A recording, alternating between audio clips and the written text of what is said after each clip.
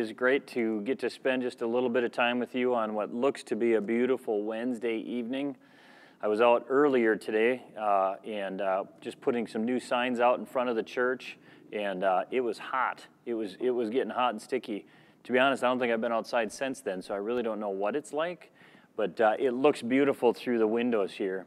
As you can see, I'm just sitting in the sanctuary. I'm just a guy at church tonight, sitting in sitting in the sanctuary, and I'm so glad that you've uh, taken some time to join us. I saw some of you logging in, mom and dad. great to always have you guys.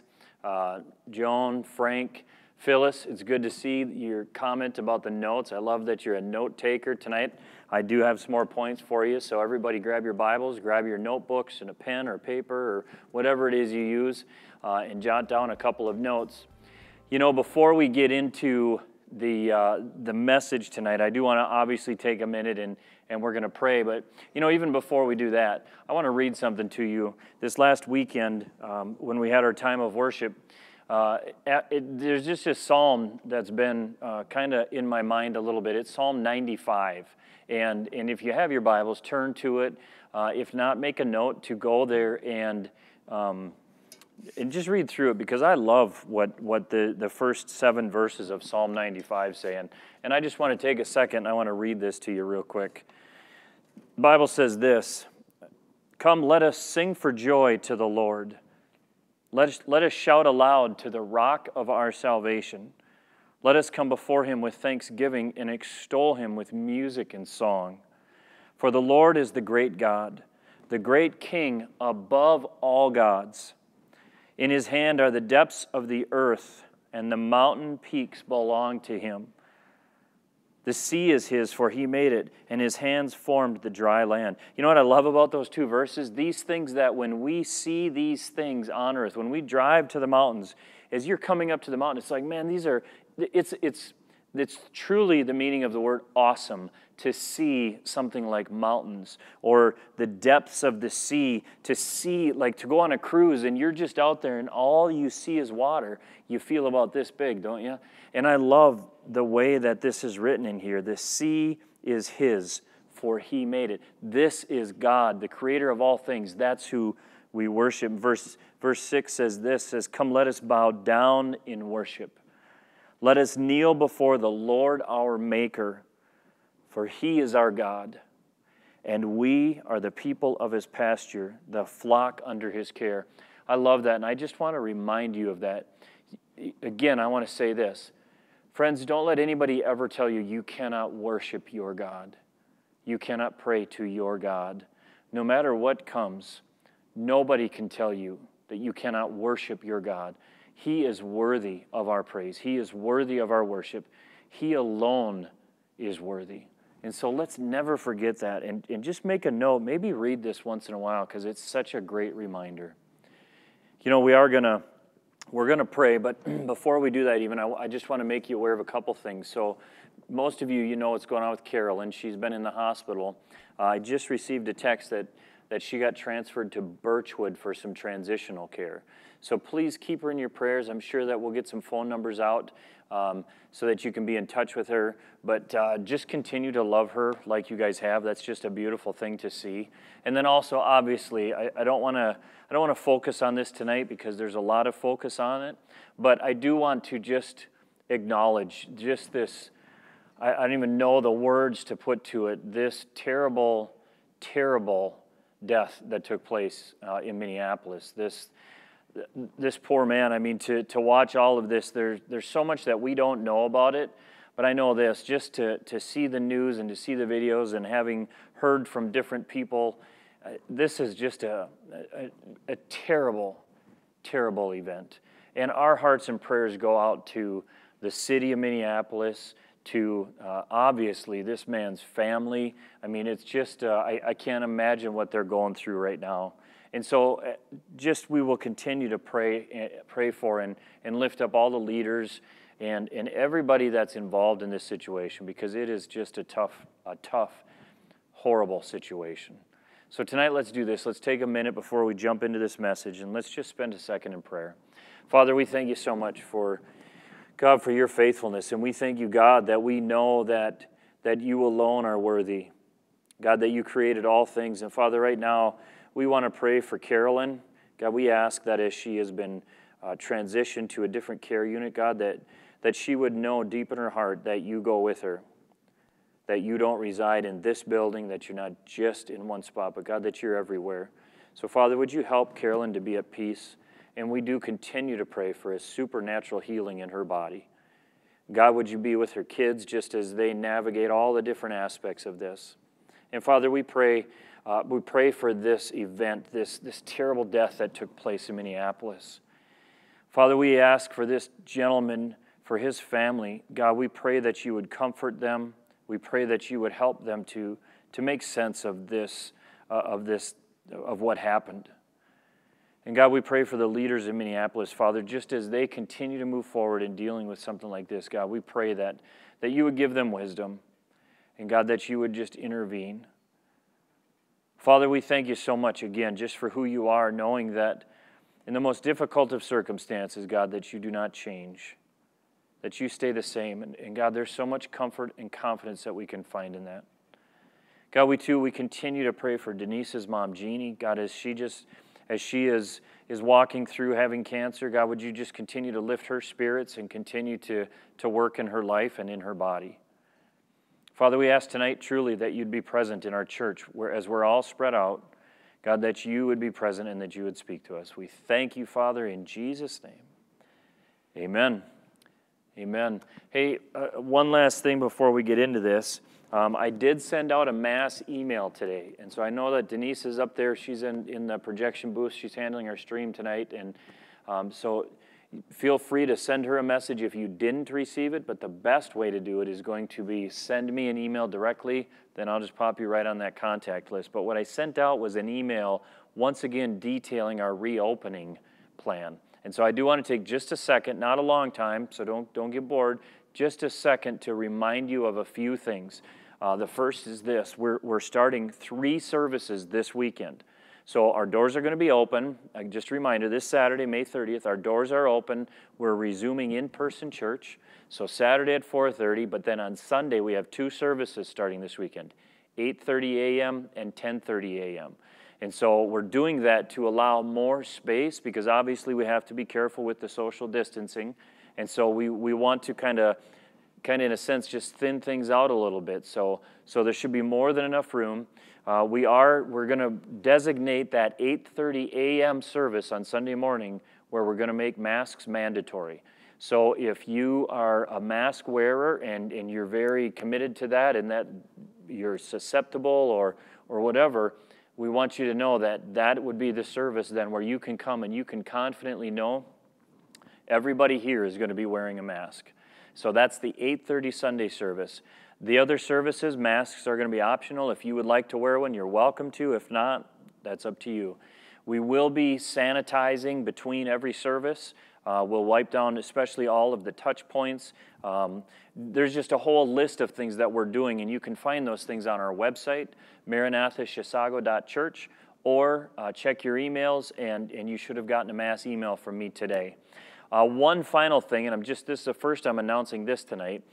Uh, so, starting a week from tonight, next Wednesday, which I believe is June 3rd, we are also going to do something where, from now on, at least for the foreseeable future, Wednesday nights are actually going to be our weekend service. And so, we're going to have four opportunities for the same service. And so, again, it's just more opportunity for us to spread out but it's also an opportunity, maybe if you, if you go to a cabin on the weekends during the summer, you'll be able to come to church on Wednesday night. You, you'll be able to come here and, and you'll get our weekend service. So we'll have worship, and then that same message you'll be able to get live. So, anyway, there's four service options at our campus right here. Plenty of room for everybody. So please, if you're up for it, man, we'd love to see you come back to church. Um, check out the details, call if you have any questions, or email me. So, right now, let's get into this really quick message.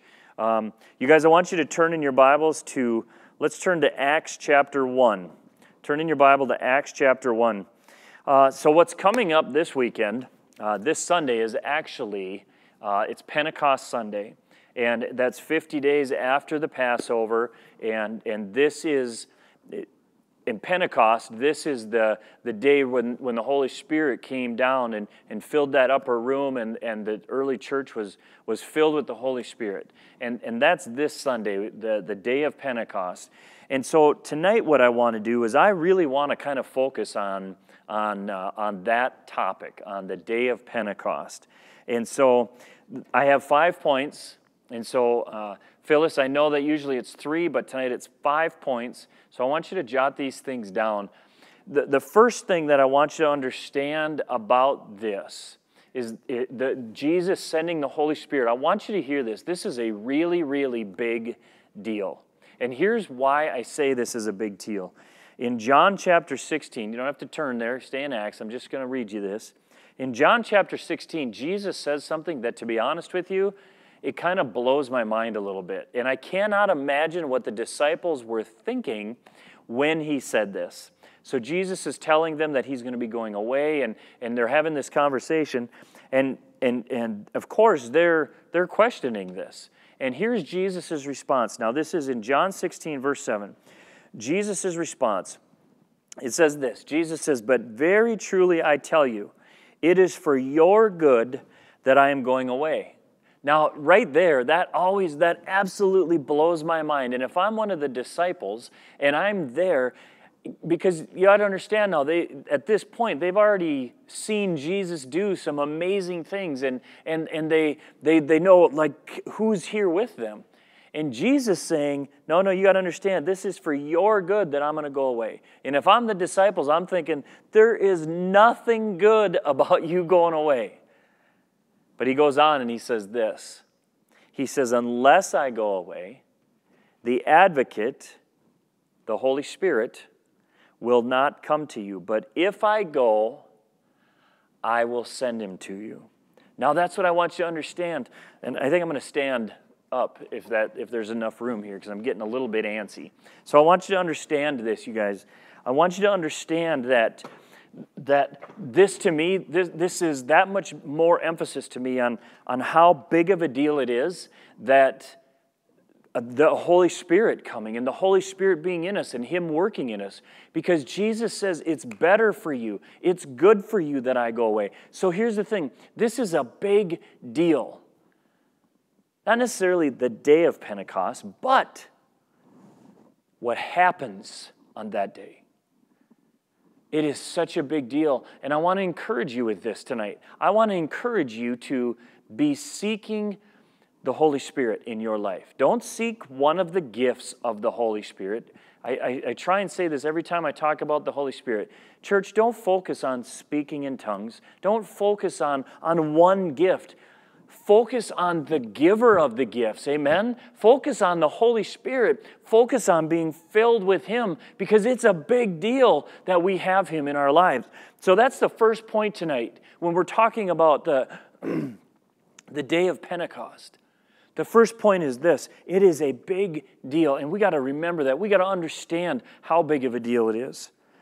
Now, the second thing about this that I want you to note tonight is this the second point. Write this down God's timing is perfect. God's timing is perfect. Jot, jot down another scripture verse. It's Isaiah chapter 55, verses 8 and 9. I want to ask you if you believe this tonight. Do you believe this, this scripture tonight? Because here's what it says God says this He says, For my thoughts are not your thoughts, neither are your ways my ways. Amen, right? neither are your ways my ways, declares the Lord. As the heavens are higher than the earth, so are my ways higher than your ways, and my thoughts than your thoughts. God's plan for our life is, is, great, and that's what we want to follow. By great, I don't mean easy. I don't always mean trouble free, but I mean that's the plan we want to follow, isn't it? Because His ways are higher than our ways, His thoughts are better than our thoughts. What God wants for us and where God wants to direct us, that's what we want to be doing. And tonight, I want to remind you this God's timing is perfect even though we may not understand it. even though there might be little details of it that may not make sense to our little finite minds and our thoughts, God's timing is perfect. In your Bibles, I asked you to turn to Acts chapter 1. And now this is where we're, we're getting into these, these, these early chapters of the book of Acts where, where, where, the, where this is the filling of the Holy Spirit on the disciples. And so in Acts chapter 1, starting in verse 4, uh, this is how I want to show you that God's timing is perfect. I want you to understand a little bit tonight.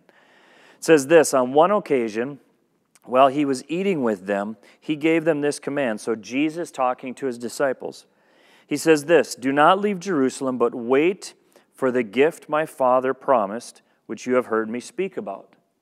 For John baptized with water, but in a few days you will be baptized with the Holy Spirit. Jesus is saying, I want you to wait. Don't leave Jerusalem, but wait. Wait until you receive this gift of this Holy Spirit. Wait until you receive this baptism of the Holy Spirit. They gathered around him and they asked, Lord, are you at this time going to restore the kingdom to Israel? He said to them, It is not for you to know the times or dates the Father has set by his own authority. Now listen, says this, but you will receive power when the Holy Spirit comes on you, and you will be my witnesses in Jerusalem and in all Judea and Samaria and to the ends of the earth. So here's what he's saying. What Jesus tells them is this here's what I want you to do I want you to stay here and I want you to wait. He doesn't tell them how long. He doesn't say on Thursday this is going to happen. Give it another month and then you'll be fine. Just wait three days. He doesn't give them that. He says, I want you to just wait. Wait for this gift. He goes on in Acts chapter 2. Flip, flip to Acts chapter 2, starting in verse 1. This is where we see God's timing being wonderful. I'm going to show you this tonight. It says this When the day of Pentecost came, they were all together in one place. I want to pause. Do you think it's important that the church be together? I do. I, I, really do. I mean, I love that we can still be the church. We can be spread out all over the place. And yeah, we can absolutely still be the church. But you know, in countries where, where Christianity is, is prohibited, you know they still find a way to meet together because there's just something about a body of believers meeting together, isn't there? There's just something about that, the importance of us being together, worshiping together, learning together, encouraging one another, loving one another. There's something about that. The Bible says this they're all together in one place. Now, suddenly, a sound like the blowing of a violent wind came from heaven and filled the whole house where they were sitting. They saw what seemed to be tongues of fire that separated and came to rest on each of them. Now, listen, all of them were filled with the Holy Spirit and began to speak in other tongues as the Spirit enabled them. Now, verse 5, this is where this whole timing thing, it all comes together. And I want you to see it. It says this Now there were staying in Jerusalem God fearing Jews, underline this, from every nation under heaven. That is such a powerful scripture right there. Now, what, what happens is if you were to keep reading, you're going to read how the disciples they, they, they came out of this, uh, uh, this, this room they were in and they all because of the gift the holy spirit had given them the very first thing they did was they started sharing the gospel in the language of the people that were there now now this all happened on the day of pentecost this is a feast that all of these people had come to Jerusalem to celebrate. God's timing is perfect. You see, he didn't, he didn't send down the Holy Spirit two weeks before this, because this has been 50 days now. They, they waited 50 days. He didn't send it down, send, send him down a week after Jesus ascended into heaven. I mean, there's all of these things that, that took place, all of this stuff. You guys, here's what here's the thing. It was perfect timing on the day of Pentecost when Jerusalem is filled with people, filled with people. Now the Holy Spirit comes on these disciples, and what do they do? What's the first thing that they're empowered to do? Is to go out and share the gospel. They're empowered to go out and be his witnesses at a time when Jerusalem is full of people. God's timing You guys, God's timing is perfect. The first thing tonight I want you to understand is this is a big deal. The second thing that I want you to understand is God's timing is perfect. The third thing is this is that we are empowered. We are empowered. And I love this. In Acts chapter 2, the Bible goes on, and, and, and Peter preaches this, this powerful message as, as he goes out. And, I, and here's, I want you to remember who Peter is. Peter's a guy who, you know, in one moment he's just, he's ready to cut off an ear. He's ready to stand in front of Jesus and protect him from everything. And, and then in the next minute he's cowering. Remember, he, he cowers, he denies Jesus. That's Peter. He's all these things. And then Peter is filled with the Holy Spirit. He's empowered. And in Acts chapter 2, I want you to read that sometime. It's just an amazing message that, that Peter shares with all of these believers that are around him.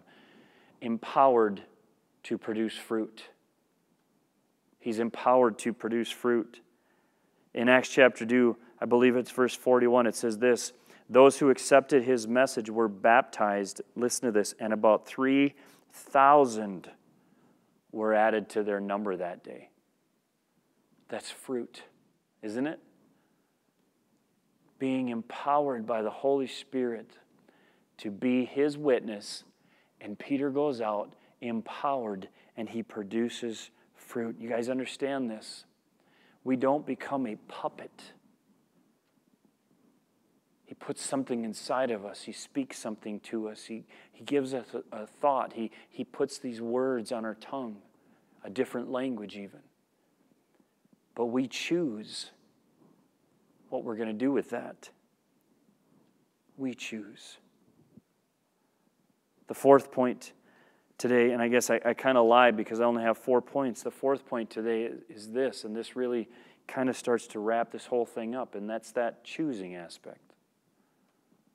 You see, if we understand this is a really big deal, if we trust and believe that God's timing is perfect, if we believe that by the Holy Spirit we are empowered by the Creator of the universe, then, then the choice really comes to us. And kind of like we talked about this last weekend, if you, if you saw that message, they said yes. He said yes. Will you say yes? And today that follows right in line with that because here's the question. The question is this is are you willing to say yes? And, and now, now here's what I know about people because I know myself. What I know is, is there's people out there that are willing to say yes, but I, I would, but he doesn't want me on his team. Remember, it's that back to that mindset. We're so used to being unimportant. We're so used to being undervalued. We're so used to being passed by. We're so used to being looked at as, as, as secondhand. We're so used to it that we even put ourselves in that area when it comes to God using us, God filling us. Well, I want to tell you something. You know, again, I'm going to go back to Peter because he's just an easy one to pick on. I'm going to tell you this, you guys. There was nothing special about Peter. Peter's just a fisherman. That's it. Peter's John Peterson for crying out loud. He's just a, he's just a fisherman. That's it. He's just an ordinary guy. He's a guy who spoke just, he just spoke, he just said things, and then ended up having to kind of take his foot out of his mouth. Just ordinary people. But they're people that were willing. Peter goes from being a guy who denies Jesus to being a guy who stands in front of religious leaders and, and shares this amazing message. Why? Because God filled him. You see, here's the thing we have to remember. You guys, we have to take our focus off of ourselves and put our focus on God. We have to stop looking at things as though, yeah, that would be great, but I can't do that. You know what? No, you can't. I can't. I can't do this. I can't get up in front of people. I can't understand the scriptures. I'm a simple person. I'm not a studied person. But I'm going to tell you this I believe by the power of the Holy Spirit that God works in me and He allows me to understand. He reveals things to me, He helps me make sense of things. I believe that He gives me this ability to, in a very, very simple way, say things. But I'm going to tell you this there's nothing special about me. I am an ordinary person, uh, person, but I want you to look at Acts chapter 4, verse 13. And if in your Bible this is not highlighted yet, then it ought to be because this is one of those verses that is unbelievably encouraging for people just like me and you. I'm standing right here in the sanctuary. This is, this is truth for people like me and you, just churchgoers, just people that sit in church week after week, people that believe that God created the universe, people that believe that Jesus died for them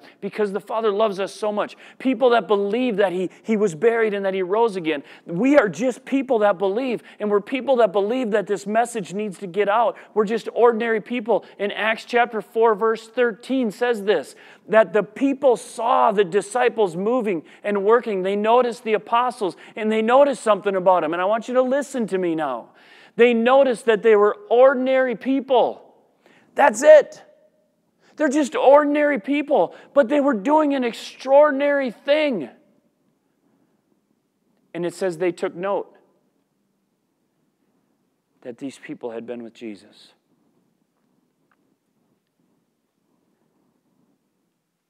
You see, you know what happens is when we look past our own selves, when we stop focusing on me and what I can and cannot do in and of myself.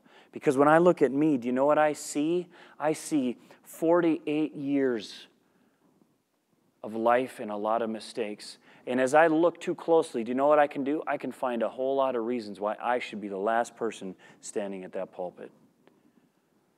But when I turn and I look at Him, do you know what I see? I see the rock of my salvation. I see a king that's above all kings, above all gods. I see that in his hand, he, he has the depths of the earth and that the mountain peaks belong to him because he created them. The sea is his and everything and That's who I see in God. And then all of a sudden, do you know what? I'm not as worried about what I can or can't do or what my past is filled with. Do you know what I, what I see? I see someone who can do anything. And then when I read that, Jesus says, you know what, it's better for you that I go away because when I go, I'm going to send the Holy Spirit, the advocate, the counselor, the guide, the one who, who's going to speak to you. All of a sudden, it's like, yeah, you know what, I can do this with Him. All of a sudden, things can happen. In church, that's what I want to ask you. You see, God's timing is perfect, and I believe that this message, in a time like today, where we're mourning with a family at the loss of a loved one. A time like this where we're separated. A time like this, church, where there are people right now, there, there's people feeling hopeless. There's people struggling with addiction. There's people that are feeling shame because in this lockdown time, this, this stay at home order time, there's people that have they've slid back into addiction because they just didn't know what else to do. There's people that are struggling financially. There's people that are struggling so depressed. There's people right now that you that you know that are struggling with suicidal thoughts. And I believe that God's timing is perfect. And I believe that it's a big deal that He sends the Holy Spirit because I believe when He sends the Holy Spirit in us, do you know what? He uses us and we become His witnesses. And do you know what we can do? We can bring a message of hope. We can bring a message of healing. We can bring a message of, of guidance, of direction. Look around. Look around. Watch the news for 10 minutes, and you're going to see how lost people are. You're going to see that they're clamoring, they're, they're reaching for anything they can. You know why? Because they just want to follow something solid. They want some semblance of truth in their life. And you know what we have? We have the truth, we have the way. And, church, that's what the Holy Spirit does in us. He gives us that, like Peter, that, that empowered ability, that boldness to share, the words to say, even sometimes in, in many different ways, a different language to speak.